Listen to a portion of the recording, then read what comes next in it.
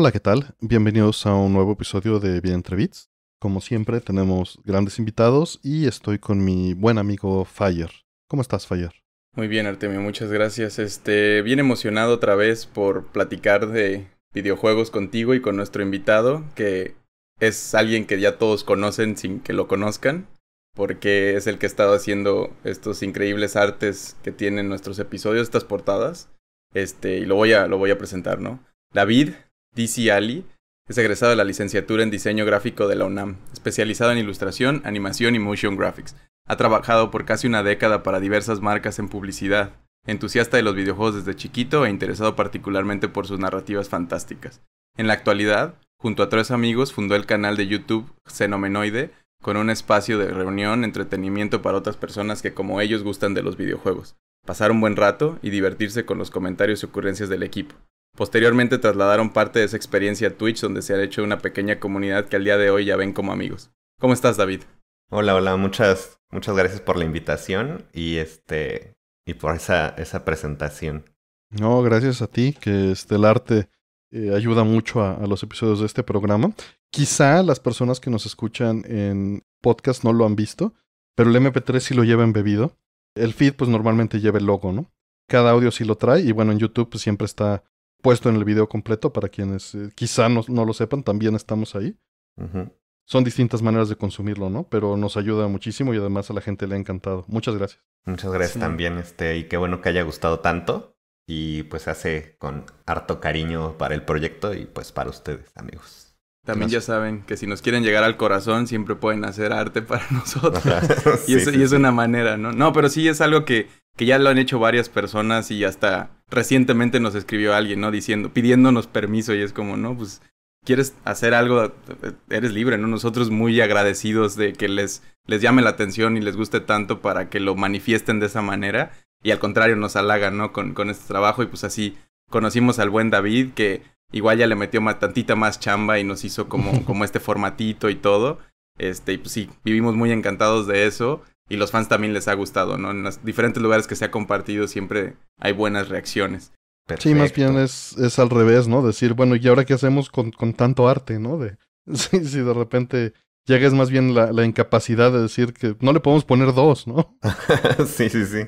Que empezar a hacer una galería digital uh -huh. para que la gente lo Ándale. pueda ver, ¿no? Ándale, este, algo así, para que, para que tenga escaparate. Ándale.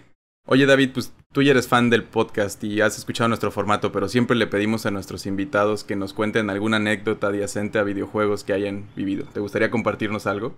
Sí, sí, sí, claro. Este, pues no si se dieron cuenta, mi lista de juegos para platicar hoy traía mucho Nintendo 64. También un poquito agarrándome de, de esta narrativa de que el 64 no fue tan, tan wow en su momento. Fue como de, es que, bueno, para mí sí lo fue, muy cañón, porque fue mi primera consola ya 100% mía. Regularmente el NES o el Sega Genesis o incluso el Super Nintendo eran consolas de primos. Y muchas veces, pues ya sabes, de la era de que te toca el control desconectado y cosas así. Uh -huh. Fue hasta el Nintendo 64 también mucho como aporte de, de Nintendo Manía y de todos los medios que, que había en la época. Que mi papá fue viendo así como que, ah, mira, la tecnología está avanzando y mira, ya se está viendo todo, todo más padre. Toda esta campaña de que el 3D era el futuro. Uh -huh. Y ya fue como llamativo para ese entonces, pues hacerme de una consola. Es como de, si vamos a hacer la inversión, que sea algo que sea moderno. Y pues así fue como llegué, llegó la, la consola un día de Reyes a, a mí. Y este, con un juego muy raro, el de este, ¿cómo se llama? Eh, este juego de Rare, como de, de carritos, robots, como en isométrico. Uh -huh. Blast Corps, se llama Blast Corps. Que fue un, sí, fue que un lo juego mencionó que... el Puni en, en, el episodio que sí, hablamos. Sí, de... sí. Fue un juego bien extraño que nunca entendí, pero que pues, sí me pasaba ahí mucho tiempo como experimentando con las mecánicas. Y este, a, a la fecha que hace como año, año y medio con, con mis amigos del, del canal de Xenomenoide le hicimos ahí un, un gameplay para mí fue súper nostálgico, ya entendía un poquito más, pero esa fue como mi entrada al, al, al mundo ya de, del gaming, pero a, a, nivel personal, ¿no? Obviamente también con, con el juego que vamos a hablar, ¿no? O sea, Sí, te, sí, sí. te llegaron los dos juntos, me imagino. No, no, no. De hecho, Mario 64 era como la. Era como el, la, la fantasía de, de un futuro prometedor. Porque antes de ese tuve Mario Kart. Y había una pista, la pista de. Del, del, este. donde sale el castillo de Peach. Mm. Donde puedes salirte de la pista y entrar al jardín del castillo y demás. Y que se hacían leyendas de que con la concha azul podías romper la puerta del castillo y meterte y cosas así. Todo es falso, amigos, no lo intenten. Estuve horas ha- haciendo eso. También porque es algo muy cierto que en ese entonces los juegos de en 64 no eran tan comunes, era uno o dos lanzamientos anuales. Entonces tenía chance de exprimir esos juegos al al límite. Entonces ya este, como con esa fantasía de querer ver qué había en el castillo, estaban las ganas de querer jugar algo, algo más libre y este, también como que la idea trasladar la, la franquicia de Super Mario al plano 3D siempre se me, se me había hecho como, como la última fantasía de posible, ¿no? En, ese, en, ese, en esa época ver a Mario en tres dimensiones ya era así como, ya, después de aquí no hay nada más. Que ese era justo como el punto de venta. Pero nada más para trolear y dejar esto este, a un lado, con lo que acabas de decir, dos lanzamientos por año de 2002 a menos 1996, nos da a que había 12 juegos. Entonces mis cálculos no estaban tan mal. Ajá, sí, sí, sí, sí. No, y era muy real. Si eran más de 10 al menos. Sí, sí, sí, no está, fallé por 20%. Oye, pero eh, pues tu, tu carrera es de arte, ¿no? Y no sé si los videojuegos hayan tenido ahí algo que ver o, o te motivaron por esto que estás contando o es algo que pasó aparte. Sí, este, siempre han estado como en, en paralelo. Digo, también el hecho de que la industria del videojuego como, como en, de- en desarrollo, Fire y este, Artemio saben más del tema. En ese entonces, este, yo soy niño del finales de los ochentas. Entonces, como que dedicarte a algo de, este, de videojuegos en México no era algo co- como tan común. Y a la fecha apenas está empezando a surgir pero en su época era más como de tomar los, los instructivos de los juegos y replicar los dibujos, o muchas veces igual en escenas de juegos, lo que justamente lo que estoy haciendo ahorita para, para el podcast, pero en, en, en más pequeño. Y este, y sí, fue, fue también como ese motor para ir este, pues creciendo el tema de la creatividad. Hasta para el pues sí, o sea, para decidirme por una carrera más, a lo mejor más mainstream, enfocada a algo gráfico y que me pudiera ir abriendo un poquito las puertas. O sea, ya también en mi, en mi experiencia personal, pues ya ha sido irme por la línea de, de la animación, de, de la ilustración. Y pues todavía sí, también está como pendiente ver la manera en cómo apoyar con lo que, con lo poco mucho que sé hacer, pues al tema del videojuego, pero todavía es un viaje. Ahora que mencionas lo de ilustración me parece muy curioso porque te tocó justo esta época en la que los manuales ya venían con puro render y no con ilustración. O por lo menos esta, ¿no? En particular ya de tu primer ujú. consola. Y no sé cómo hayas... Es más, no sé si hayas percibido eso en algún momento, incluso antes de, de mencionarlo, o era completamente intrascendente. Pues de los manuales que más, más memorables que tengo presentes es el de, el de Banjo Kazooie y el de Zelda Ocarina of Time. El de Oca- Ocarina of Time sí era ilustración 2D, entonces este, ese, este, ese manual era, era también una fantasía tenerlo y, y estarlo ojeando. De hecho, sí repliqué varias ilustraciones de, de ahí, pero la contraparte es Banjo Kazooie, que como, como mencionas, este, son renders. Y ahí más bien fue ese salto, como ese escalón de pensamiento de lo 2D a lo 3D, pues muchas veces era como abstrayendo las formas 3D a 2D. Entonces también eso me dio ese chance de no nada más dedicarme a copiar o a replicar artes oficiales, sino también como a empezar a darles el giro propio, que es lo más fácil cuando tratas de replicar 3D. Y digo, ahí me, me hiciste evocar memorias eh, propias, porque yo también tuve una relación eh, curiosa. Yo no tenía NES y tenía nada más Atari 2600. Y un día, caminando en una plaza, enfrente de un Liverpool, me encontré tirado un manual de Zelda 1, Y con el Y- mapa. con todo y las ilustraciones. Y justo te lo iba a mencionar por las ilustraciones. Que están hermosas las ilustraciones que tienen los manuales de Zelda 1 y de Zelda 2. ujú. de NES. Y pues eso me llevó a... Yo no tenía el juego, no tenía acceso, no tenía ningún conocido que tuviera eh, un NES con Zelda, ¿no? En particular para jugar, pero tenía el manual. y era una puerta a un mundo fantástico que, que no me imaginaba cómo se podía representar, pero tenía una calculadora programable. E hice mi, mi propio clon con caracteres japoneses. La O minúscula era, era Link, ¿no? Y la omega griega era un Octorok. Wow. Que, que era el camino del creador de antes, ¿no? Artemio así como... Pues, ajá, hablan de lo que Iwata también cuenta de sus principios, algo así, ¿no? Como que se ponía a hacer juegos en esta calculadora. Este, y siento que esa, esa generación tenía ese tipo de herramientas que les permitían. Lo que eventualmente pudo haber sido el Mario Paint, tal vez, o Paint justo en una computadora o algo para otras generaciones. Ahora Roblox o no sé, Mario, este Mario Maker, etcétera. Y lo que acaba de anunciar Nintendo, ¿no? Este. Gamer o Garage Lab o algo así se llama, de que van a hacer juegos. Pero, ¿y si te salió un Zelda? También a mí me quedó la duda de si, si se sentía. Bueno, no se sentía. No, pero- no sé si, o sea, si lo ves, eh, digo, no tengo ya ese código. Es de las cosas que no, no, no había cómo respaldarlo. La calculadora tiene dos baterías, una de SRAM y una para operación. Y una vez en una de estas bodas de pueblo, ya sabes, este, ya tienes al niño diciéndole al papá que por favor consiga una CR2016 urgentemente, porque se está acabando la batería de respaldo de la memoria RAM. no creo Ah, que sí, exista ese hijo, niño. Voy a la farmacia para conseguir un poco. Y de hecho sí, terminamos en la farmacia, mi pobre padre terminó consiguiendo una batería y me tienes cambiando una batería con desarmadores este, de reloj que no tenía, con las uñas en medio del coche en, en- en un pueblo, ¿no? En una boda. Están enfriando las carnitas, hijo. No puede ser en otro momento. No, No, se va a perder mi juego. Nah, y eso está súper padre, ¿no? Porque es como de... El papá confiaba plenamente en que algo, algo estaba pasando en la cabeza del niño, ¿no? sí, eso es una memoria que, que me recordó hace poco porque él no entendía nada de lo que estaba sucediendo, evidentemente. Y, pero tenía esa confianza, como dices, veía mi desesperación, ¿no? Sí. Pero qué bueno que, porque luego habría, hay otras historias que no terminan tan bonito, ¿no?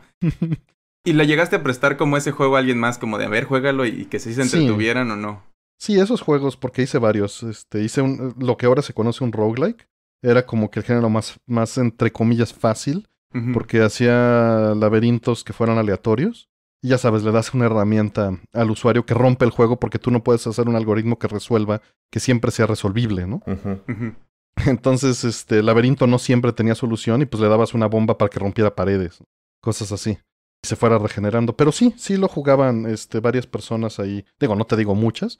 Una, una chica Adriana lo jugaba y lo jugaba mi amigo Yoselé. Pues varios. eh, Había uno que hice de carreras de caballos, donde hacías apuestas y eso era muy popular. Porque podían jugar cuatro al mismo tiempo y a final de cuentas les salvaba, ¿no? Ponían su nombre, justamente de lo que hablábamos al principio, y les salvaba su cuenta de banco de cada quien. Wow.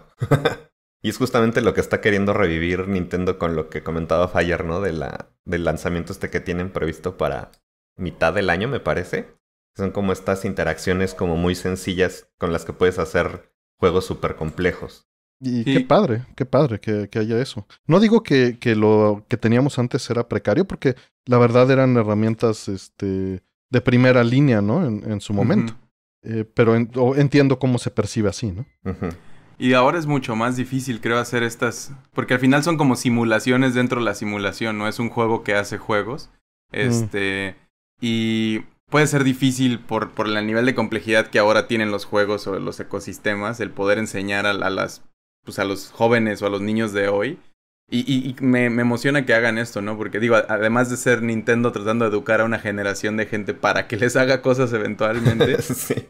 sí creo que es una buena manera de entrarle a, al desarrollo de juegos, evidentemente, pero también a la programación, estructurar tu mente de otra manera. Es un tipo de, de rompecabezas, ¿no? De puzzle diferente.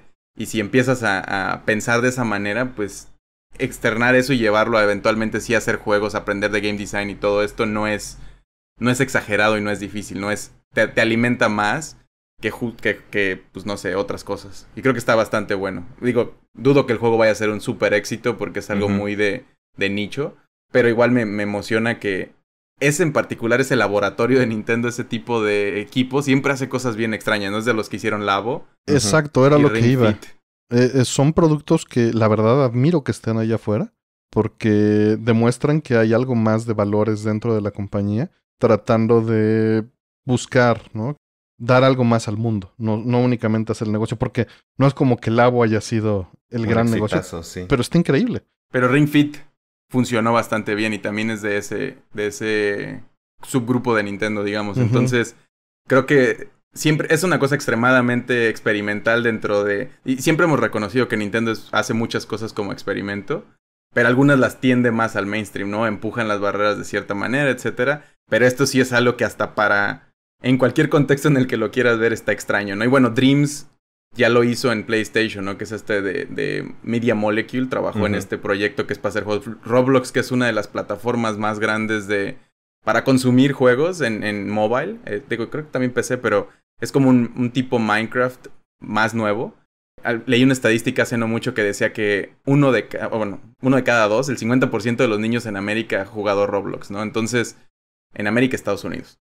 Entonces, es una estadística fuertísima, ¿no? La mitad de los niños están jugando con esta cosa que además dobletea para que puedas crear contenido ahí. Y de hecho, muchos developers de la generación después de la mía, ¿no? Que ahorita están desde adolescentes hasta young adults, este, bueno, sus 20 tal vez, se hicieron de, desarrolladores ahí y pues les fue muy muy bien. Es como el boom después de mobile y otras tantas cosas. Entonces, no, nunca, o sea, no está de más tener acceso a este tipo de cosas porque puede construir estos perfiles interesantes hacia mañana. O al final es algo que como los juegos te vas a entretener y pues te da como herramientas. Es como, de hecho también son los de Brain Age, ¿no? El del, que salió para Switch. Es ese mismo laboratorio, bueno, es el mismo equipo. Y sabes, me duele mucho que la contraparte de, de la moneda de esta faceta de Nintendo ya básicamente no exista. Quizá tengamos oportunidad de hablar de este tema en otro programa, pero Sega era muy dado a hacer cosas aún más experimentales y quizá por eso tronó.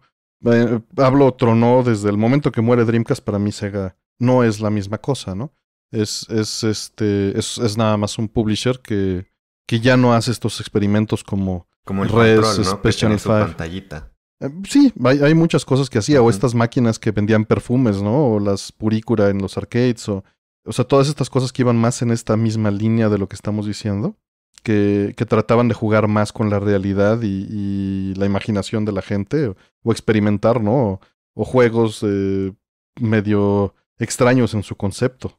Sí, sí que es algo que, que de repente se siente como extremadamente japonés, este, por, por la cantidad de como maquinarias con las que convive el japonés en su día a día, ¿no? Que tienen estas maquinitas dispensadoras desde juguetes hasta comida y un montón de otras cosas, ¿no? Que es todo, todo un universo que les permite luego estar jugando más que, que, o bueno, teniendo estos experimentos y creando estas cosas que en otros lados podrían parecer como muy extrañas. Pero pues no nos, no nos perdamos tanto más porque nos queda mucho que decir del, del juego que sí se escogió para esta vez, que fue Super Mario 64, desarrollado por Nintendo EAD, como este otro laboratorio, ¿no? Que hemos visto también grandes cosas de ellos. Publicado por Nintendo. Este sí dirigido por Shigeru Miyamoto. Este, del género plataformas en 3D. Que fue lanzado en el 96, el junio 23 en Japón y el 29 de septiembre en Norteamérica. Y pues para, para vencerlo se necesitan, para la historia normal, unas 10, 12 horas. Eh, para los extras, tal vez 15 a 20 con, con todo lo que se tiene que hacer. No es un juego muy largo, pero ah, en estándares actuales, pero para el momento pues sí daba mucho que, que explorar, ¿no? Y además es algo que, que, creo que se mencionó un par de veces ya, de que te daba esta ilusión. No es tanto conseguir la historia o el contenido, etcétera, sino es, es un juego que refleja esta emoción en movimiento, ¿no? Como Joy in Motion, que creo que le decían, que, que se enfocaron mucho en los controles para que sintieras como la, la caricatura del personaje de cierta manera. Pero bueno, cuéntanos, David, ¿por qué, ¿por qué este juego? Ya nos dijiste un medio spoiler antes, pero ahora puedes decir más. Pues definitivamente también después de esperar tanto por, por este juego, porque yo creo que sí fueron... Bueno, a lo mejor en tiempo no voy a estar muy justo porque de niño el tiempo es mucho más largo, entonces probablemente fueron meses, para mí fueron años de conseguir Mario 64, pero este a la fecha me sigue pareciendo yo creo que de los de los mejores Marios en 3D yo, yo creo que lo pongo por debajo de Mario Odyssey porque pues ya Mario Odyssey fue como su, su graduación en esa línea de los Marios 3D. Pero hasta la fecha yo sigo sintiendo muy acrobático al Mario de Mario 64 y yo creo que fue parte de su, de su éxito. Y también de los datillos ahí que tengo es de que para justamente hacerlo más manejable, hicieron ahí un truquillo con, las, con la cadera de, de Mario para que justamente el movimiento fuera como más natural y las acrobacias se sintieran más naturales. Que, no sé, a diferencia de otros juegos del género de la época, como, no sé, puede ser un, un Gex o este. O Croc. el, el del cocodrilillo. Y este, no sé, no sé, creo que por, por ese lado fue por donde más me capturó, de ese tema también de tener estos micro escenarios, estos dioramas, este, maquetitas de, de mundos diferentes dentro del castillo. O sea, todo, todo el concepto me parecía como súper interesante para explorarlo. Y que sí, como bien mencionas, el juego te puede durar unas 12 horas la historia normal. Y hoy en día, pues ya sabiendo cómo se consiguen varias estrellas, incluso puedes llegar a romper el juego. O sea, diario en, en las plataformas de streaming hay una persona que está acabando Mario 64 en un día. Y en su momento, pues sí, me llevó meses. Sin duda, de hecho es un tema que ojalá lleguemos a tocar, que es, es, la parte que quizá más me ha interesado en los años recientes de, de los glitches y de la comunidad speedrun, porque esto que dijo Fire de que dura horas no es cierto, son, son minutos. sí, sí, sí, sí.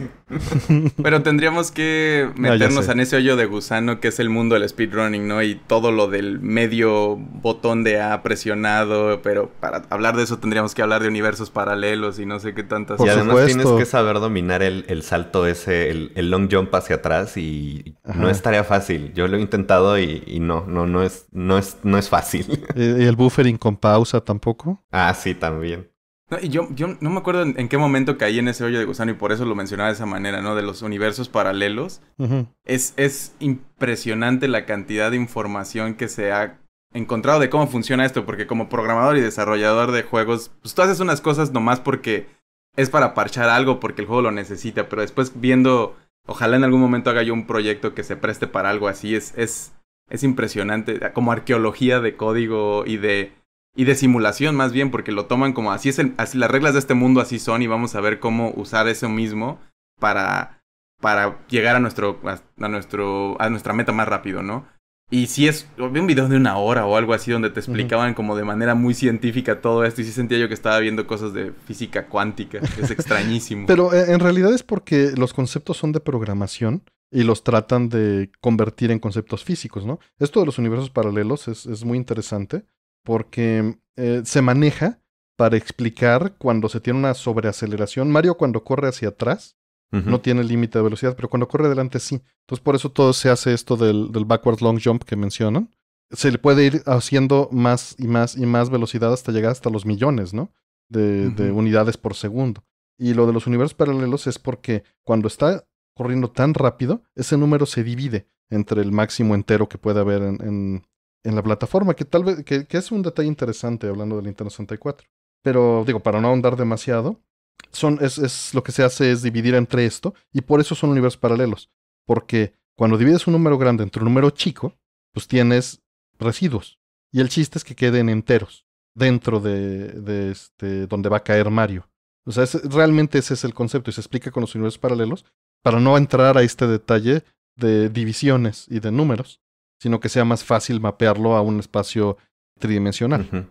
¿no? Pero realmente es, es, básicamente que sean divisibles esto de los universos paralelos y, hay muchos conceptos que se manejan, como dicen en el speedrunning. Hay un video, el que dices es el de Bismuth, me imagino, que te explican justamente cómo se logra ese récord mundial que está asistido por computadora, no es, este, no es una persona haciéndolo, porque se necesita una precisión inhumana para realizar las, las, las acrobacias eh, y estos cálculos, ¿no? De, de llegar a esos puntos. Y que también solamente se puede hacer en, en la primera o las primeras versiones del juego, ¿no? Antes de que hicieran su parche físico, que es la que nos dieron para el Switch, donde ya no puedes speedronear nada.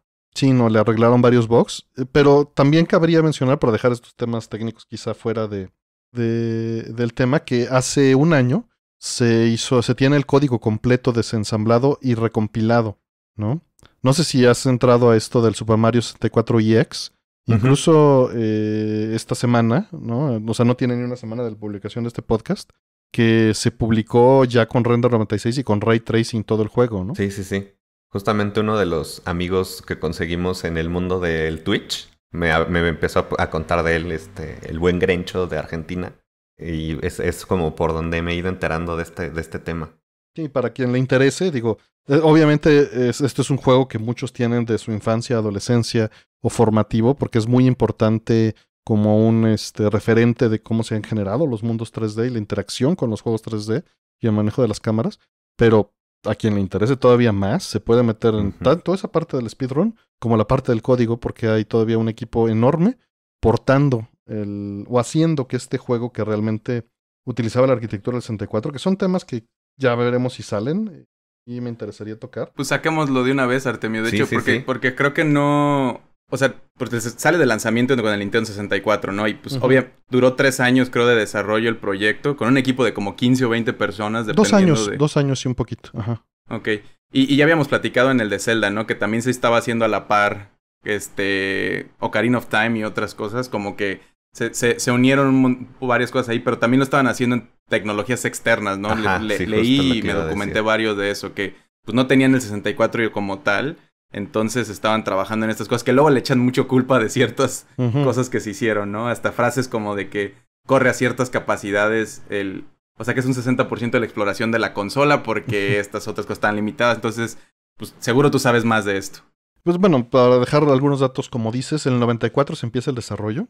Eh, y pues el Nintendo 64 se conocía como el Ultra 64, que viene, está muy ligado al hardware y por eso tal vez es, es lo que mencionábamos. El, proyecto del hardware era de Silicon Graphics. Se le ofreció originalmente a Sega. Eh, hay historias distintas. Obviamente Sega dice que ellos lo desecharon. Y Nintendo dice que Sega no tenía la capacidad para negociar el, contrato.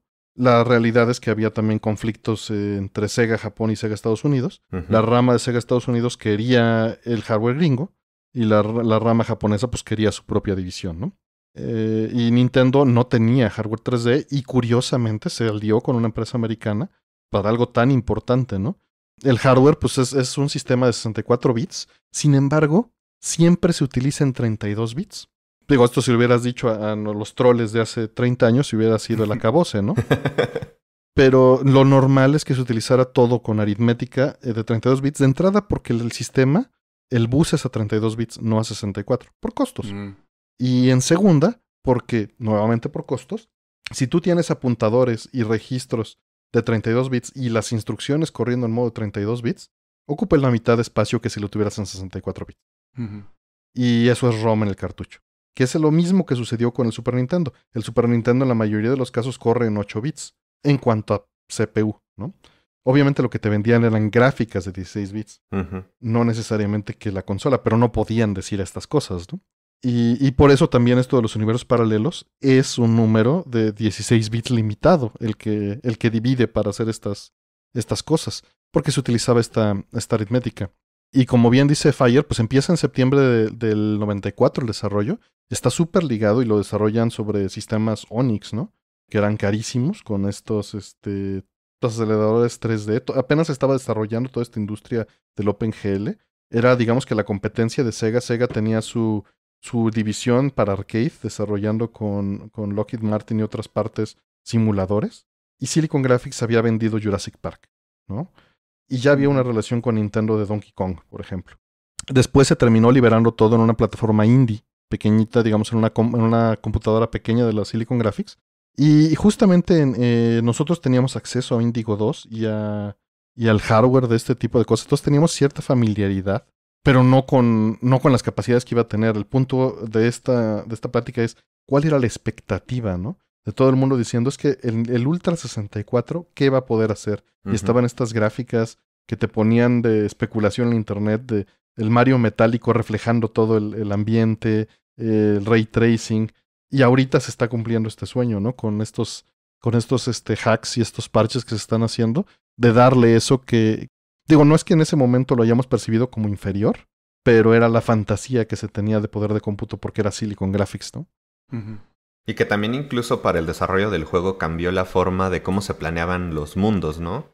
Que para el primer Mario, por ejemplo, que todo era como en retículas y este, sí era todo, sí todo era todo con bocetos y a lo mejor muy artesanal, pero tuvieron que cambiar incluso la forma de pensar el juego porque hay incluso hasta fotillos, ¿no? De de estos mundos que tuvieron que trabajar ya literal como una maqueta. Como de, ok, ya, entonces aquí vamos a hacer un mundo 3D, entonces vamos a armar cómo sería este, este mundo que a lo mejor antes se pensaba nada más en 2D, en side scroll, pues ahora en un 3D, donde pues el, el movimiento no, no tiene límite, por así decirlo.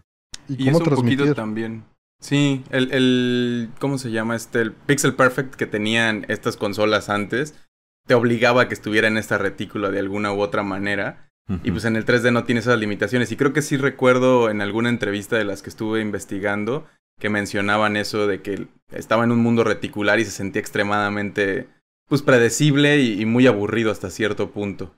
Entonces optaron por hacer esto que decías del movimiento de la cadera y de darte más libertades de movimiento que lo hace ver más caricatura porque no, no imitan la realidad, pero se siente más orgánico cuando lo estás jugando y eso hizo que los niveles se volvieran más interesantes, entonces abren todo a disposición de ese movimiento. Si ya está funcionando bien y se está sintiendo bien, y lo probaron internamente, que es algo que parecía que no hacían en el momento, ¿no? Demostrárselo como a niños, a diferentes este, grupos de prueba, eh, para ver si sí, sí estaban logrando hacer, porque estaban empujando eh, la tecnología, ¿no? Y, y, la manera en la que se abstraen ciertas ideas en los juegos, ¿no? Que también, pues es innegable la posición que tiene eh, de importancia como Karina of Time en empujar la franquicia y el género al mundo del 3D, casi de la manera que sigue siendo ahora, ¿no? Y a Nintendo, ¿no? Porque estaban en un bache de que estaban apostando todo allí. O sea, era muy importante y lo lograron. ¿No? Sí, y le duelen algunas cosas en retrospectiva, ¿no? Particularmente la cámara, pero era el primer paso para llegar a lo que ahora ya está más entendido. Es que justo era exploración, eran propuestas, porque se sentía tan libre que al mismo tiempo dejaba de ser divertido. Eh, digo... Por eso también hay ese tema de que la cámara tiene que ser un personaje, ¿no? Como para que en aquel entonces se entendiera más que la cámara también la podías mover. Sí, y eso me parece muy un acierto muy grande en el momento, ¿no? Como esta personificación de la cámara, porque teníamos que enseñarle a la gente cómo se usaba y la mejor manera de decir, pues es un personaje que la controla. Este, y lo que me estaba acordando era esta anécdota también de que hay ahí una historia donde Miyamoto dudó de la inteligencia de su hijo en una de estas pruebas, porque no podía pasar un nivel o algo así, que, y lo dijo así en entrevistas o algo, y me parecía muy, como, pues pobre chaval, que estás ahí echándolo en evidencia. Pero sí, sí lidiaron con, con muchos problemas en todo esto y con muchas eh, aceleraciones, porque de hecho lo que mencionamos fue tan importante que los niveles fueron eh, armados eh, de último momento, ¿no? Los niveles son como, digo, no que se note, pero es lo que ellos cuentan, que a final de cuentas tenían todas las mecánicas y todas las ideas funcionando y los niveles los armaron de la pedacería que tenían al final, porque estaban tan preocupados en lograr que funcionara como juego, que todo el desarrollo se fue en esa parte, ¿no? En, en cómo sentir esas aceleraciones, en cómo sentir eh, el correr, el mover la cámara, el experimentar con cómo caer en los lugares, incluso las sombras, ¿no? Están puestas como eh, las sombras artificialmente porque el hardware no tenía el poder para indicarte dónde van a caerte los enemigos, ¿no? Y esto de la pedacería se nota más en el, en el de Lethal Lava Land, el nivelcillo del, de fuego, donde todo es lava, y en el del barco, ¿no? En el de las nubes, el arco iris, donde se nota más este tema de, de que todo eran como cachos o, o de estructuras prefabricadas. Y, y, se mapea con lo que tú decías, ¿no? De ser pequeños dioramas eh, interconexos por el castillo. O sea, les funcionó bien en estructura en ese sentido. Y creo que, digo, sí hay entrevistas donde Miyamoto ha dicho que fue inspirado por dioramas y modelitos de estos de trenes.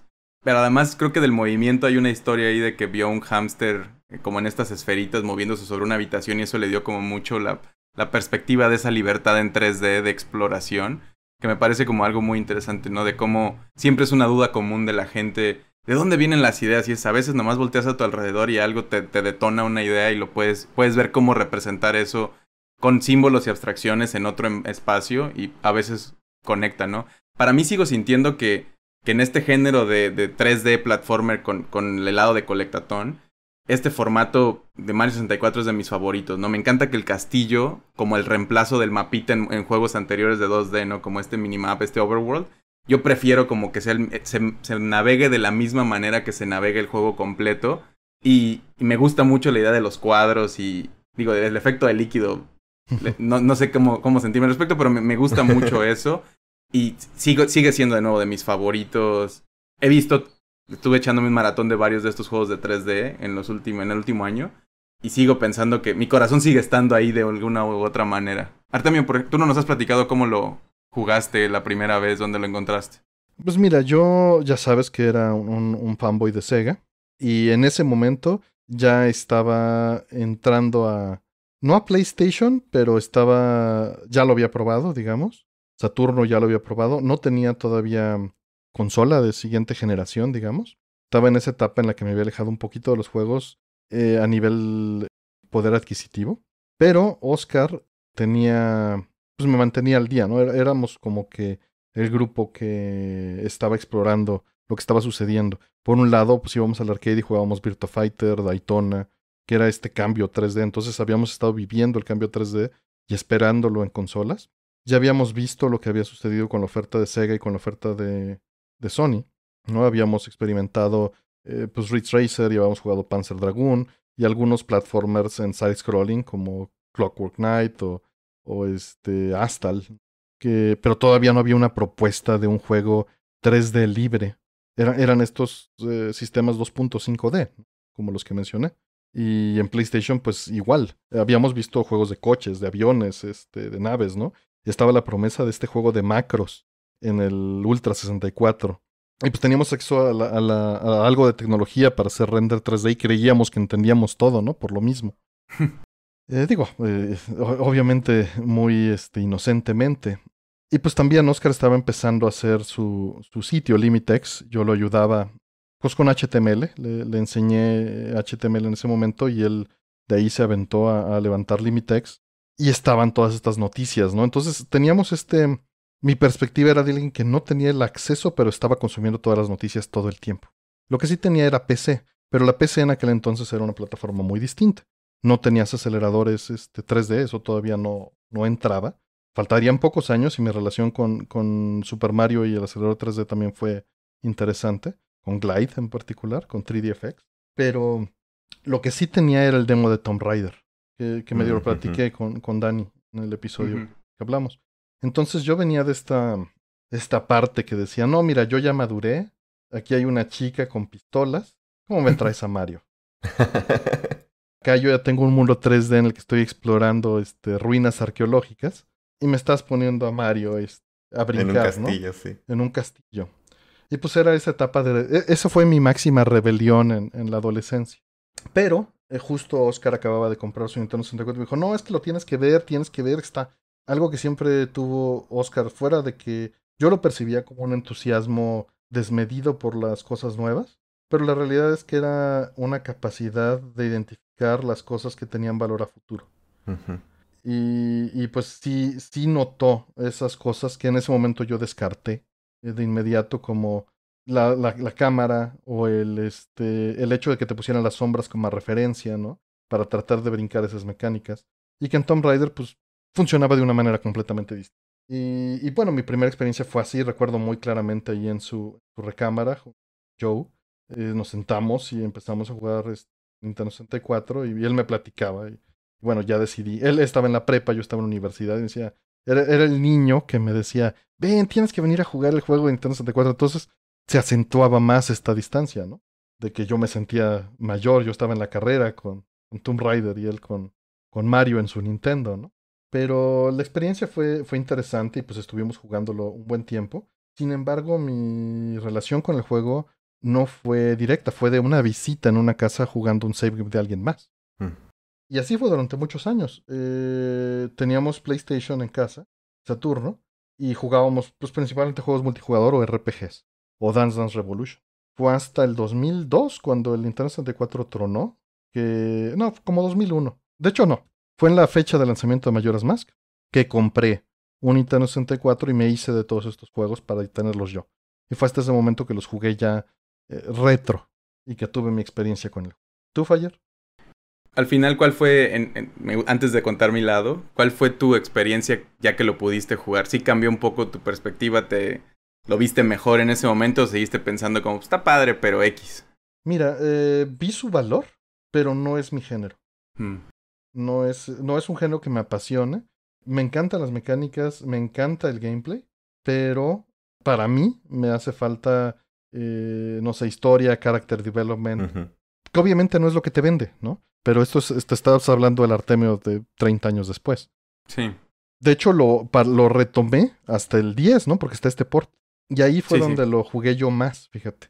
Porque en su momento fueron muchas cosas. Me cayó en mis manos, o sea, compré un Nintendo 64 en el 2001 y me compré Conker, Super Mario, este, Star Fox, GoldenEye y Zelda, Karina y Zelda Mayoras al mismo tiempo. Uy. ¿Qué atención le vas a poner a Mario 64? Sí, sí estaba difícil. Mira, acabas de poner un montón de juegos buenos ahí. Tú Sí. La mitad, la mitad de la biblioteca, lo sé.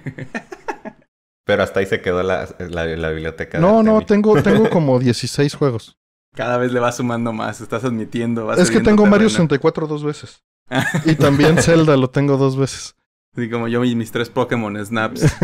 Yo también justo en algún punto tuve que este deshacerme de mi Nintendo 64 original y el que tengo a la fecha pues ya es uno recomprado, pero justamente como para ya este un niño con poder adquisitivo pues ya hacerse de la de su colección de juegos que siempre quiso o que tuvo y quiere volver a jugar. Que hay veces que te topas con buenas sorpresas y otras no tanto.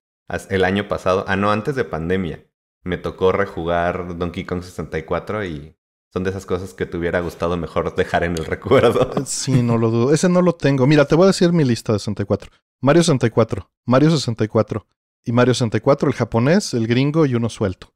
Wave Racer. Tengo Project, es, eh, Wonder Project J2, que ese juego sí me interesa mucho. Mm. Este, Shadow of the Empire, Star Fox, GoldenEye, 64 de Haken, que es un este, Tamagotchi, que es para cuatro jugadores. eh, Rogue Squadron, eh, evidentemente Mystical Ninja con Goemon. Uf. Ocarina of Time tres veces. Smash. También tengo el otro Goemon, tengo Great Adventure. Mario Kart 64. Castlevania 64, Legacy of Darkness, que ese no le tengo nada de amor. Mayoras, dos veces. Y este Sin and Punishment, Paper Mario y Conker. Eso es toda mi biblioteca. Muy buena, muy buena, muy este, muy curada. Sí. No sabría qué recomendar extra. Pokémon Snap. Pero ya lo hablaremos en, sí, en- sí, en sí. ese, en esa discusión. Sí, pero no lo tengo. Tengo, tengo varios. Te voy, a, te voy a hacer llegar uno en algún momento que, que me reencuentre con mi colección. Va.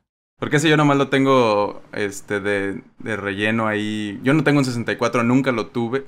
Bueno, tengo un recuerdo vago de haber tenido un 64 mío en algún momento, pero como que no coincide con todo lo demás. Entonces, Mm. no sé si nomás lo construí. O igual y te lo prestaron, ¿no? No, porque sí me prestaron uno y justo el, el Nintendo 64, de nuevo, yo no lo tuve, y, pero sí lo jugué ahí Mario 64 en ese momento, este, en esos tiempos más o menos. No recuerdo si cuando me lo prestó un amigo o un primo o yendo a la casa de alguien también así. Y desde ahí me generó un trauma a mí de que se me fue, ¿no? Como la idea de que lo tuve en mis manos y se me fue. Yo sí lo sentí muy... Me, me llenó demasiado ese tipo de juego porque si de bien no se trata de nada y de hecho creo que es el Mario que menos se trata de algo este, en particular. Creo que yo viniendo del Super Nintendo y mi, mi, mi gusto y pasión por los platformers, esto lo representó más, este nivel de apertura que tenían los dioramas pequeños, que es, son enormes, pero, pero accesibles, no consumibles, como que sí los puedes conocer y explorar hasta, hasta el final. Y no es algo tan abierto que te empieza a abrumar de nunca voy a saber bien cómo está todo, ¿no? Sientes control, ¿no? Exacto. Y eso, para, por eso digo, re- regresando a esa idea de que siento que es algo, para mí, de mis formatos favoritos para presentar mundos así. También creo que lo pusieron en algún momento en estas maquinitas que he mencionado varias veces de pasita. Eh, sí me tocó una, una de esas maquinitas con Mario 64. Cuando lo mencionaste sí dije, ah, me tocó uno así. Sí, que es bien doloroso porque no, no se Sí, presta sí, sí. mucho. Y tienen que pausarlo, ¿no? Además, y es bien doloroso. Pero podría estar el save bien comunal, ¿no? Para acabarlo ya con las 70 estrellas ahí. Pero Sí. Tú creerías, pero pero pues eso también es peor porque luego llega y la gente ya hace cosas que tú ya no ya, ya no ya no se siente que fue tu logro, ¿no? Como cuando Sí, claro. compartes esos saves. Eventualmente creo que lo terminé en el en este port que mencionaste de 10 y digo creo porque no estoy seguro si lo acabé o no, pero ahí le metí mucho más tiempo. Sí, yo Que he es bien diferente. Sí, hasta cierto punto. Y de hecho también fue porque un pariente o, o un primo de un primo así que llegó al pueblo con su 10 y su Mario, de nuevo me lo puso enfrente y me dejó jugarlo en una fiesta, boda o algo así del pueblo. Y pues, ajá, no lo solté y fue como, necesito esto. Eventualmente ya lo tuve y lo jugué. Solo no tengo recuerdos de si lo acabé o no, pero pues, porque también hay una biblioteca bien completa la del 10, ¿no? Y tenía cosas más interesantes también en ese momento. Y ya, ahora sí, el año pasado lo terminé bien, bien. Con estas, todas las estrellas que se pueden conseguir en todos los 120? niveles. Excepto las de las monedas porque Mm. no tengo la paciencia. Esas son las que más se- me hacen terapéuticas a mí. Ah, yo soy muy flojo porque siento que se, me falta una, voy a obsesionarme y lo voy a revisar todo y puede estar escondido en un lugar. No sé, no, no me... Ese lado zen no me llena ahí porque no es tan fácil encontrar. Si me hubieran dado una herramienta extra, también es difícil seguir una guía, ¿no? Como un video o algo así. Este, porque tienes que seguirlo en ese orden, si no, no tiene tan sentido. Entonces, sí las evité esas por salud mental, pero todas las otras las conseguí y lo disfruté muchísimo. Si bien, de nuevo, está parchado de algunas maneras, tiene también un poco de trabajo para que no se sienta tan tosco, digamos, con, con el concepto de botones nuevo. Pero no me dolió mucho y lo, pagué, lo pasé con Drift. Es difícil, en cierto momento tienes que controlar muy bien al personaje para unas estrellas. Pero en sí es una experiencia que, de nuevo, la fluidez, el movimiento de brinco hacia, hacia atrás, el, brinco largo, este, el rebote contra la pared y también el otro de de regresar y el de inercia, el de que mantengas la inercia pero cambiando de dirección. Son cosas que, que cada vez que agarro un Mario 3D lo busco. y, y, sí le extraño cuando no se los pone, ¿no? Cuando le ponen versiones con el gimmick de, de cada juego de eso, sí es como, ah, no, Te extraño un buen, el, por ejemplo, el long jump en Sunshine, ¿no? Exacto, ese tipo de cosas como que sí lo extraño. Ahora, algo que sí odio mucho, mucho de este juego es la gorra voladora. Sí, sí, yo también lo tenía aquí en parte de... Nunca he entendido cómo funciona, cómo se supone que funciona ese sistema. O sea, entiendo lo de que está inspirado tal vez un poquito en, el, en la capa del Mario, el Super Mario, ¿no? Que, es como en contra del movimiento, exacto. Pero nomás no, mi mente no lo entiende. Eso en, 64 eso y, en, el minijuego de Pokémon Stadium de los Drowsy, jamás he entendido cuál es la lógica porque siempre los pierdo y siempre lo hago mal. Según yo, el de los Drowsy es apretar el A cuando el péndulo está en el centro. Yo lo he hecho todas las veces y soy muy bueno en... Tengo esta, esta cosa en, creo que es en Mayoras Más o en Ocarina, donde tienes que... Te va contando el tiempo y luego como que lo apaga, la precisión. Sí, sí soy bueno, tengo un timer interno bueno. Pero nunca con los Drowsies, nunca lo logré. Y no sé si es un delay ahí o algo. Lo hice en el, cuando te llega, cuando está del otro lado y en medio. Es por no jugar en CRT. Tal vez.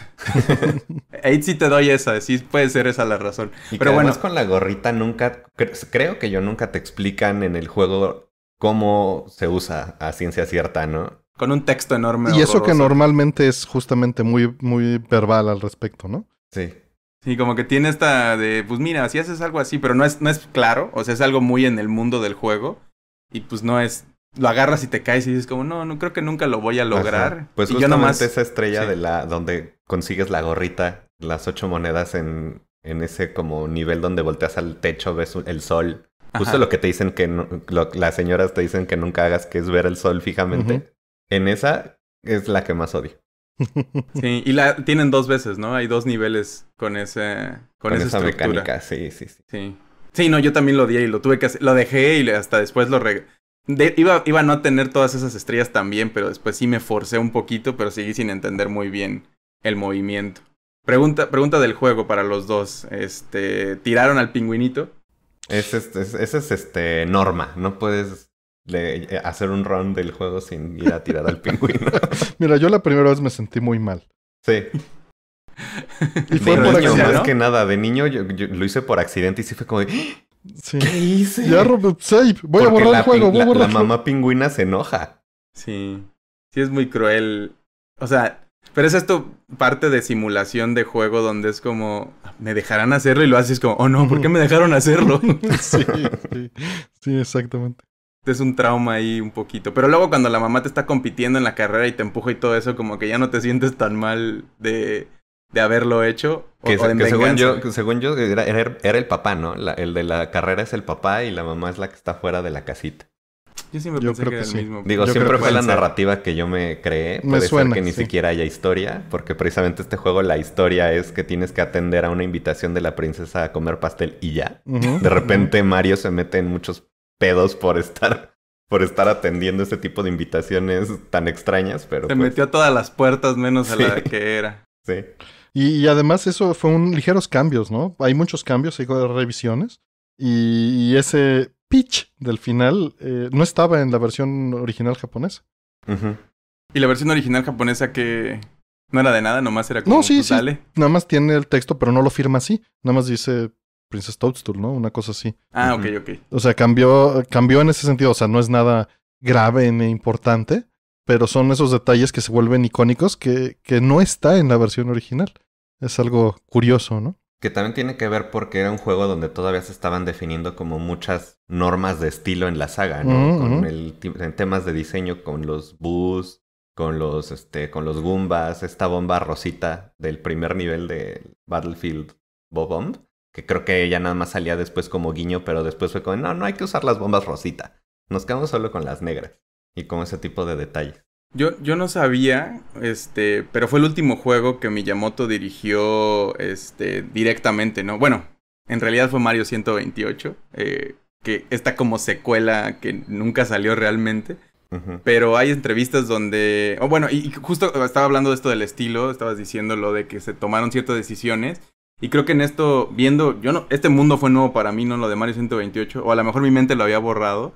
Pero hay entrevistas donde decía que quería hacerlo más maduro, este, hasta no es en, en Playboy Japón, Órale. que querían quitarle el símbolo, que, que hacía el símbolo de paz, ¿no? Al final de cada nivel, Mm. y sí lo desaparecieron en algunos juegos de después, que no le gustaba la relación que era de Mario como niño, que él lo había, pues al final era un middle-aged, o sea, como de, de mediana edad, ¿no? Un adul- adulto Mario, y que lo estaban haciendo cada vez más caricatura y más niño, y quería como que se sintiera más, no para adulto así como dark and gritty, sino, En Unreal sino más bien como, sí, sí, bien edgy el Miyamoto. Que compitiera con Tomb Raider. Ándale, para que Artemio no lo sintiera como Ándale, que era un sí. juego de niños. Que cualquier persona de prepa se va a enojar si escucha y, y le dices que es un niño, porque ya son adultos. Todos recordamos. Pero todos, momentos. todos lo vemos así. Y yo a mi edad, yo ya veo a los de 70 muy jóvenes. Así pasa. También. sí, sí, sí, claro. Ya. Mis papás tienen esta historia que les da mucha risa que una vez yo dije, uno, hace varios años, ¿no? Hace como 10, 15, como eran unos viejitos, así como ustedes, y tenían 40 y algo años, y hasta la fecha siempre que digo viejitos, ellos piensan, sí, así como nosotros. Sí, pues sí. Eso no te lo Ya me lo haces viejito, hijo. Sí, ya me lo van a recordar yo creo cuando, cuando llegue a esa edad. Y es como, ya estás en la edad, de- ya eres un viejito, ¿te diste cuenta?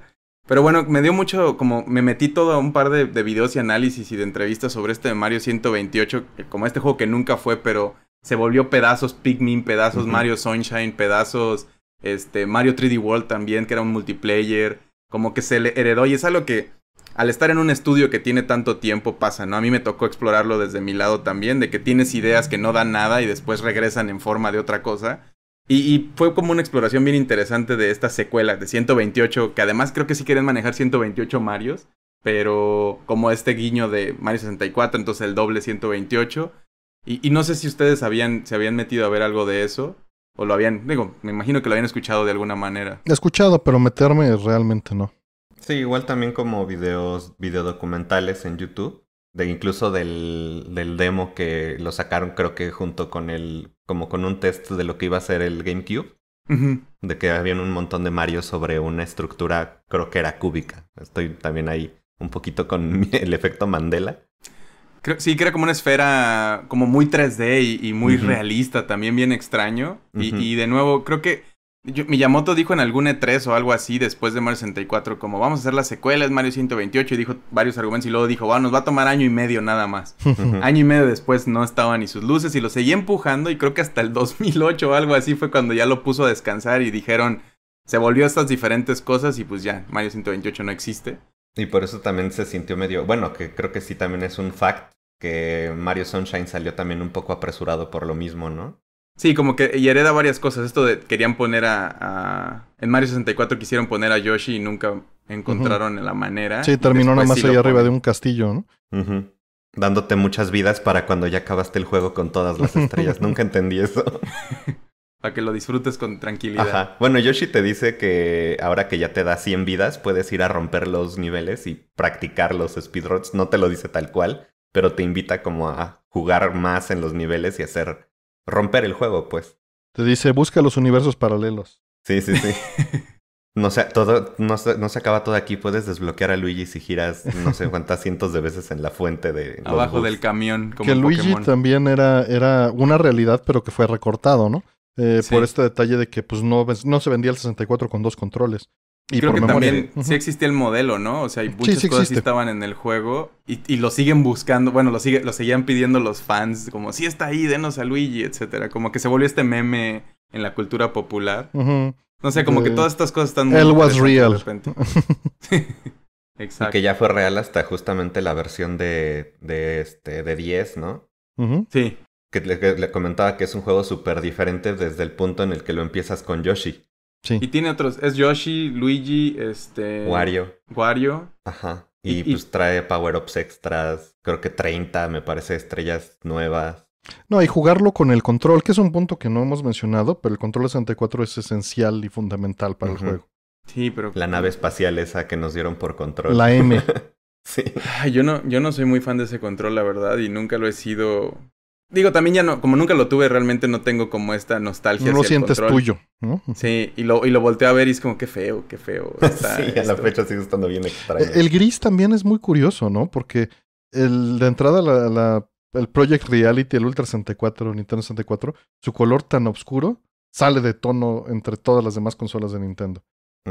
Y, y también el control en gris eh, evoca al de Super Nintendo, pero se siente más industrial, ¿no? Porque el de Super Nintendo tiene estos toques púrpuras. Ya hasta que sacaron estos controles con plástico transparente, muy de moda en los noventas para ver las entrañas de los aparatos. Sí, muy iMac, ¿no? Sí. Soy bien fan de esa estética y yo sí la extraño. Sí. Sí, no sé a por qué. no o sea, no tanto de las IMAX, pero de ese, ese Game Boy Color, que también era como moradito, ya. transparente. Ese, Ah, ese sí, lo sí, tengo. Sí, no. El Sí. Culpable. Guilty as charged. Sí, no sé, me, me, me parecen muy. Ah, no, no sé si nostálgicos. Pues sí, sí, que cuando eres alguien como entusiasta de, de los fierros, Que este, se alcance a ver está que padre. se alcance a ver es un gran detalle. Pero que sean de línea. Modificarlas no me gusta para que se vean los fierros. Sí, no, no, no, no, como, como que esa línea directa que lo hayan Ajá. puesto me, me gustaba mucho. Justo el que yo tengo de 64 es el moradillo, Mm, transparente. Ya. Sí que es el, es el mismo. Yo, yo hubiera esperado, fíjate, que, que Fire tuviera el de Pikachu. Ya me No, pues decepcionó. no. Sí, la o sea, consola, el 64 de Pikachu. Sí, está muy, está feo, la verdad. Es un azul, ¿no? Con, Sí. con amarillo. Que el Sí, sí, botón está de feo. encendido es una patita de Es una Pikachu. patita, sí. Puni va a venir a regañarte, pero sí. Sí está Sí, feo. no. Pues que venga. Pero así es que soy muy poco. Porque Pokémon es esta franquicia enorme y que vende mucho y todo eso. Y luego la pegan en un. No, acaban de salir cosas de Adidas y de Levi's o no sé qué tanto. Y me molesta que solo pongan el logo y al Pikachu genérico, así como venía ya en el arte desde hace 30 años. Es como tienes la licencia, redibújalo en algo que se adapte a la cosa, ¿no? Y ese Pikachu en esa consola es eso, es como, aquí estoy, pícame la patita y es como, acomódalo en algo, que se sienta como- Integrado. integrado, sí, que se note el diseño en, en el eso. Y digo, a veces hay ediciones de consolas que lo que adhieren muy bien a estas ideas nuevas y otras que sí, dices como, no, pues le pegaste un sticker.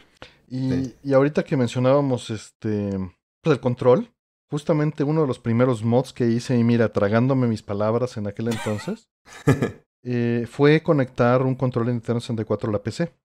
Y fue así como de los proyectos de ir y comprar todo el material y soldar, porque además utilizaba un chip CMOS que se podía eh, dañar fácilmente con una descarga electrostática, te lo vendían envuelto en papel aluminio, ahí en la. Plaza de la Computación. Como una torta. Ándale, ándale.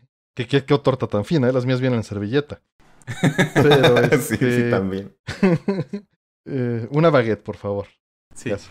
El caso es que justo para poder correr, cuando salió el primer emulador de alto nivel, Ultra HLE se llamaba, de Nintendo 64, pues lo primero que quería yo hacer era correr Mario 64. Y, y tenía eh, el control, me había comprado el control y me había comprado eh, el cartucho, por eso lo tengo suelto, porque sí tenía como que la esperanza de jugarlo eh, después de todo. Creo que se lo compré a Oscar. O sea, no fue como que lo buscara aparte, ¿no? Sino se dio la oportunidad cuando él, se deshacía de algunas cosas o el cartucho suelto. Y digo, no tenía como dompearlo, pero salió este emulador que era de alto nivel. Y, como, y es, es importante o interesante mencionarlo, porque el Nintendo 64 pues sí tiene su hardware 3D, pero además tiene dividido este Reality Engine en partes. El RCP, el Reality Coprocessor y el RSP y el RDP, que son partes de este chip que se dedican a cosas distintas. Pero en particular se le puede meter microcódigo a este chip para hacer las cosas y había microcódigo para distintas funciones que proveía Nintendo en su SDK. Y uno de ellos era para 3D, otro era para 2D, pero hoy en día cuando uno quiere desarrollar software homebrew para el Nintendo 64 no tienes este microcódigo. Y o todo lo haces en software sobre el frame buffer o escribes tu microcódigo. Y, y yo escribí un par de cosas alrededor de esto cuando estaba haciendo el port de la suite. Y, y ve, mi relación con el Nintendo 64 de todas maneras está ahí, a pesar de que no la consideré mía, pero estaba metiéndole Glide con 3D Effects y conectaron un control de Nintendo 64 porque la experiencia era central al juego. El tener el, el control análogo era el punto. Conectado a la PC para jugarlo en esta emulación de alto nivel que lo que hace es no emular, sino tomar la salida de que se tiene que ver estos polígonos y utilizas entonces las llamadas de fundamentales de OpenGL hoy en día, ¿no? Pero en aquel entonces de Glide, para simular lo que hacía el Nintendo 64, porque era tan primitivo para estándares actuales que no existen modelos, son solo listas de apuntadores de vectores. Mm. Y convertir todo eso pues termina siendo muy interesante y, y hoy en día programar para el Nintendo 64 todavía es un, un, este, un reto fuerte porque no tienes este soporte de microcódigo en la tarjeta de video. Tienes que hacer todo o en software o escribir ese microcódigo tú. O utilizar el microcódigo de un juego ilegalmente, ¿no? Sí. Para un control tan feo, tanto trabajo. Sí, caray, caray. Que también está, es muy, muy extraño en el, en el control que hicieran esta decisión. Bueno, que se supone que la idea y como lo vendían al principio era de que tenías dos controles en uno, ¿no? La- El que tenía el D-pad y Para te jugar- lo marcaban así. 2D y 3D, ¿no? Ajá, sí. Y el de la palanquita para el 3D justamente. Pero el D-pad, según yo, casi no se usa, si no es que no se usa.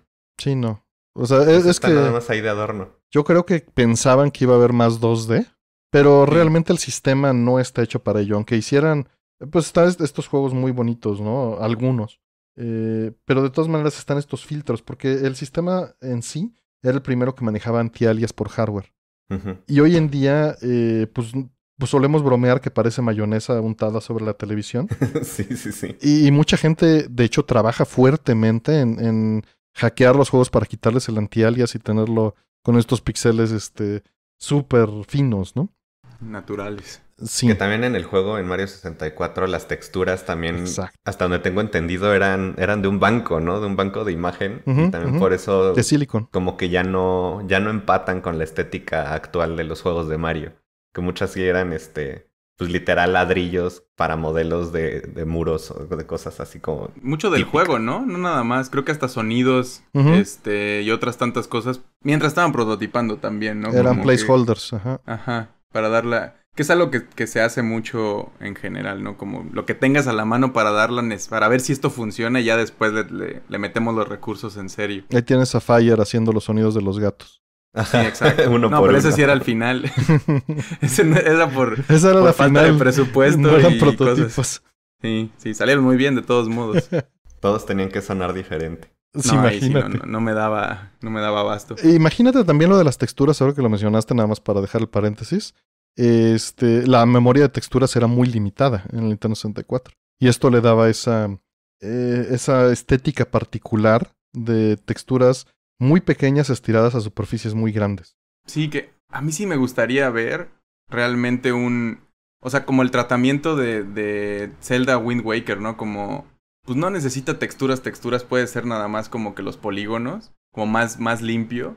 Y que le... Sí esperaba yo un remake en algún momento con, con moderno, pero con ese juego en particular. Échale Igual no un lo ojo, necesita. échale un ojo a Super Mario 64 EX con el video en particular rendereado por Render 96. Están rehaciendo los modelos con texturas de alta eh, definición y se ve muy bonito. Todavía no terminan, pero este se ve increíble. Es mucho más bonito que los que, bueno, los videos que están por internet que, que dicen así se vería Ocarina of Ah, Time en qué bueno. Unreal, no sé qué, bla, bla, bla. Ah, no, no, no, no va por ahí. No, esto es el Sí. código. Lo que pasa es que como decompilaron el juego el año pasado, hoy en día se están dando a la labor de correr con el código original con todos estos este, hooks para conectarlo a tarjetas de video actuales. Mm. Sí, porque creo que lo más reciente que yo vi fue eso de... Con, con Mario 64 de estos de Unreal, algo así salió y es como, pues se ven horribles, siempre se ven horribles porque es como iluminación genérica, muy poca como sensación estética. Y se Movimiento feo tosco. regular. Sí, sí, Lo sí. que está haciendo literalmente es ver cada escena y poner las luces que empaten de la mejor manera posible con las luces donde hubieran estado visualmente como referencia en el juego. Eh, Está muy bien. como bien. side effect, desgraciada o afortunadamente, hay dos sombras, una real y la proyectada original. Porque la proyectada original es parte del, del diseño del juego. Es la que te Sí. dice dónde te va a caer el enemigo. Sí, no, y es como un sprite, ¿no? Que le pusieron ahí también. Exactamente, son proyecciones 2D que ni siquiera son proyecciones, ¿no? Son literalmente, como dices, son texturas. Pero el, este, este esfuerzo tiene las dos sombras y pues bueno, puedes prender y apagar todo lo que quieras. Entonces échale un ojo. Yo creo que te va, a gustar. Ahí sí, y a los que nos están escuchando también igual y ahí está el dato por si quisieran ver estas otras formas más modernas. Yo creo que el, el, el no prototipo, el este empaquetado nuevo que hicieron del Collection funciona bastante bien si no tienen algo del original para jugar y quieren tener acceso también viene con el Sunshine este, y Galaxy. Galaxy. Entonces es un gran combo. Si se perdieron como yo todas estas cosas, no sé por qué en su momento las evité. Y sí vale mucho la pena explorarlo, ¿no? Y que puedes notar las sutiles diferencias que tienen sobre ellos mismos y pues, lo mucho que ha avanzado este modelo de juegos, ¿no? El, el 3D platforming desde la perspectiva de Nintendo y de Mario, sí es muy diferente cada uno. Tiene su propia dirección además de historia, narrativa, gráfica, etcétera, como en el, en el feel, en, la sensación de movimiento del personaje. Y además sí tienen algo de trabajo, ¿no? Son, son emuladores reempaquetados con ROMs y mucha gente se quejó de esto. A final de cuentas, la realidad es que ellos tienen el derecho de hacer lo que quieran y te están vendiendo las licencias. sí. Y, pero no tienen solo, no solo eso. O sea, sí hay un poquito de trabajo en hacer que la interfase se vea mejor en alta resolución, en cambiar ciertas texturas. Entonces, no es algo tan perezoso, ¿no? Como mucha gente Sí, o sea, es un compromiso con la fidelidad de lo que estaba ahí antes, sin modificar las decisiones del momento, pero presentadas en una manera moderna, este, sin tocar de nuevo. Es como si tuvieras una ventanita y está ahí el juego con estas otras cosas de, calidad de vida, ¿no? Y sí hay cosas que le duelen por la traducción del formato, ¿no? En Galaxy, por ejemplo, que se jugaba con el control de Wii, que no tenía este, un stick y pues era de motion. La manera en la que lo, lo mapearon es, o sea, se siente diferente, se siente raro. Pero igual pues lo hicieron lo mejor que pudieron para que se sienta. Y pues Galaxy, digo, este, Sunshine siempre se va a sentir raro. Ese, ese juego nació raro. Por definición. este, pero sí vale mucho la pena, creo yo. Y no sé, a mí me, a mí me, es un juego que, que lo llevo mucho en mi corazón. Y eventualmente voy a tener que hacer algo con así, ¿no? Como tratar de repetir de alguna manera las sensaciones que me da este juego. Porque siento que es algo que por alguna razón no se explora tanto, excepto en estas, o sea, en estas líneas muy fuertes, ¿no? Como los de Mario, este Crash ahora que volvió, Spyro también en su momento, como que fue la época del 64 PlayStation, había mucho y luego se abandonaron esas líneas eh, por por otras cosas que pues cambió la atención a otro tipo de juegos. y el, online. Sí. Pero siempre, o sea, me gusta mucho que algunos indies los han retomado, este, el género, y que pues siguen, ahora resacaron algunas cosas y le está habiendo interés y lo están volviendo a hacer. Entonces, creo que hay un espacio interesante para seguirlos explorando. Sí, sin duda es un buen momento, ¿no? Y más con el código fuente del juego, hay muchos elementos que eh, seguramente van a estar más que inspirados en, en las mecánicas internas de, de, funcionamiento, ¿no? Claro. Pues bueno, no sé si tengan alguna otra cosa que les haya faltado decir, sino para ir cerrando este capítulo. ¿No, ¿no va a haber sección de spoilers? Spoiler de, de Cake is Alive. pensando, sí. ¿De cuántas estrellas son en total? este, no, pues eh, déjame ver mis notas. ¿Tienen algo ustedes? Yo ya, ya dije todo lo que tenía que decir. Pues a lo mejor yo nada más complementar justamente el tema de las estrellas. el juego me duró mucho porque cada estrella sí era como descifrar algo en esa edad. Yo tenía como un margen entre 9 y 12 años, no recuerdo muy bien. Y pues sí, muchas veces era atorarse por esos, eh, por esos temas. A lo mejor ya habíamos acabado el juego yo y mis primos, mis primos y yo. El juego muchísimo antes de, de completarlo al 100 pero sí estaba como todavía ese extra de para sacar ese 100 donde están estas estrellas, donde no están. Y la última, última siempre me voy a acordar porque fueron meses de investigación profunda antes de la era del Internet. De la, la que consigues echándote una carrerita con la bola de nieve que te tienes que poner enfrente de ella y luego que choque con la cabeza. Mm. Con la cabeza del muñeco de nieve. Esa fue la última. No, pues sí está complicado. Sí, porque la, la, la, instrucción está como muy, este, como muy enigmática y... Sí, que algunos son como poemas, ¿no? Sí, sí, son muy artísticos los títulos. Son haikus. Sí, son como un hint nada más. Y algunos sí es como... Yo la verdad en este último run que hice, todos los que tengo de memoria muscular las saqué así y las otras fui... Es, muy bonito tener el internet y preguntarle, ¿qué es esto? esto, ok. Porque al final es más de acción, no es el puzzle no es tanto... Y sí, justo no quería dedicarle tanto tiempo. Sí, y justo por este dolor en la infancia es que a la fecha no se me olviden dónde están todas las estrellas. Lo tienes bien grabado. Sí, sí, sí. De hecho, sí es un juego al que regreso yo creo una vez cada año, año y medio. a sacarle todo. Es que es muy buen comfort food, ¿no? O sea, realmente Sí, sí, sí.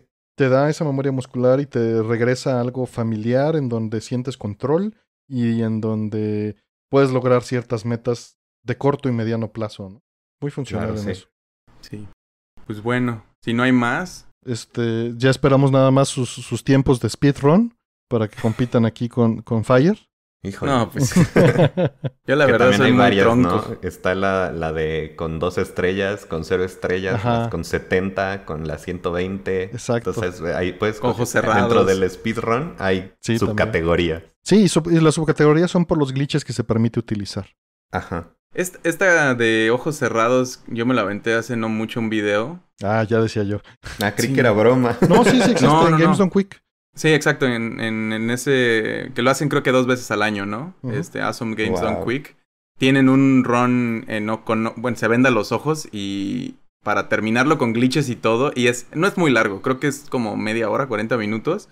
Es increíble. La, la habilidad que tiene la gente en este tipo de juegos ya más consolidados y más, más explorados y más precisos. La manera en la que miden el espacio, etcétera, es... O sea, véanlo, la verdad vale Lo mucho la buscar. pena. Sí, es muy entretenido ver... Pues es como los Juegos Olímpicos, ¿no? Es gente Pues que está en un nivel de maestría que ni me gustaría tener, la verdad. Siento que es un compromiso muy fuerte con, con ese proyecto, con ese juego. Vivir ahí un poquito. Sí, sí está. Es, es, es muy clavado, ¿no? Igual que, que con Tetris en arcade, Tetris de Grandmaster también tiene este nivel profundo. Sí. Igual exploren sus juegos favoritos en, en ese tipo de escenarios, ¿no? De- el speedrunning es uno y ojalá en algún momento podamos invitar a The Mexican Runner que nos podría hablar Uf. Muchísimo de eso. Pero creo que todos los juegos tienen algo, o bueno, muchos tienen estas maneras interesantes de, de romperse y es todo un show, ¿no? Este, este lugar en particular de Awesome Games on Quick, que lo hacen también por, por donaciones a diferentes tipos de, de Calidad. iniciativas, ajá, este, lo hacen como un show. Entonces es muy interesante de ver. Sí, sin duda. Pues bueno, eh, quienes no lo hayan probado, sí denle la oportunidad. Es un, un juego muy... influen- eh, bueno, tuvo una influencia muy fuerte, es muy importante. Y van a ver muchas raíces. Quizá en retrospectiva les parezca de... ¿Y esto qué tiene de especial? Y, y lo que se tienen que responder en ese momento es, es que no había nada así antes. Sí, muy emblemático, muy icónico. Y un escalón para muchas cosas después. Pues bueno, David, ¿dónde te encuentra la gente? ¿En qué andas? Estamos ahorita haciendo las miniaturas para el podcast. Estamos en. Las pueden ver en Instagram. En Instagram estoy como DC Ali. En, bueno, en todos lados, en realidad. Es como lo que comentaba en la precharla que ponerse un nombre y usarlo para todo es como lo más cómodo. Y este, en Xenomenoide con mis amigos haciendo, subiendo contenido relacionado con videojuegos. También contenido en formato podcast, gameplay, reseñas, pero todo así como con una, con un giro un poco menos serio. No nos sale, no nos sale eso de ponernos serio. También te vi una animación, ¿no? Que está muy bonita. Que te la vi en el Facebook random y dije, ah, mira, lo hiciste tú, está increíble esto. Que también Ah, para sí, que la, sí, la sí. revisen ahí, está muy cool. Muchas gracias. Oye, ¿y te tengo que mandar el, el- la mezcla en sucio de esto para que, para que dibujes o...? Sí, sí, yo creo que va a ser, va a ser muy necesario. No, muchísimas gracias por, por tu apoyo. La verdad está bien padre. Vayan a ver este su trabajo y, y te agradecemos muchísimo por, por ayudarnos con esto, en verdad. Sí, muchas y a gracias. ustedes también por la invitación, que también les comentaba que fue una muy grata sorpresa y pues también muy agradecido de que les guste lo que hacemos. No, mil gracias. Gracias. Artemio, ¿tú cómo estás? Este, mis, estoy en redes como Artemio, en jonkerhq.net están algunos de los proyectos en los que estoy trabajando. ¿Y tú, Fire? Y yo estoy como arroba FireDev en Twitter e Instagram, que son las que más uso. Pues bueno, si quieren de más de este show, es Vida entre Beats. Así lo pueden encontrar en Anchor, que de ahí están todas las cosas de podcast, Spotify, este, Google, Apple, etcétera, y también en YouTube, este, donde pueden apreciar las miniaturas. Eh, y si quieren, ahí también pueden poner comentarios y siempre los leemos y nos emociona mucho ver sus reacciones, sus anécdotas y todo lo que nos comparten. Agradecemos mucho lo que, lo que también lo comparten a otra gente y pues gracias por escucharnos. Gracias, nos vemos. Hasta luego. Bye, bye, bye.